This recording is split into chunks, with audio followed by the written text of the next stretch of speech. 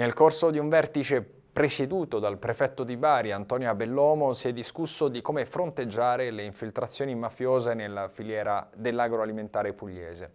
colpita soprattutto da estorsioni e usura associate alla scarsa propensione delle vittime a denunciare continua intanto il lavoro dei gruppi interforze antimafia. Sentiamo. A favorire le infiltrazioni mafiose nella filiera agroalimentare e la propensione a non denunciare da parte delle vittime che così rendono complicate le indagini e aiutano i gruppi criminali. È quanto emerso dalla riunione della conferenza regionale delle autorità di pubblica sicurezza presieduto dal prefetto di Bari Antonia Bellomo e a cui hanno partecipato rappresentanti delle istituzioni, della giustizia e delle associazioni di categoria che hanno discusso dei potenziali rischi di infiltrazione della criminalità criminalità organizzata nel tessuto economico produttivo anche nella filiera agroalimentare. Tre reati di cui gli agricoltori sono vittime ci sono le estorsioni e l'usura, fenomeno quest'ultimo che potrebbe subire un'impennata a causa della crisi che il settore sta vivendo nella fase di ripartenza da coronavirus.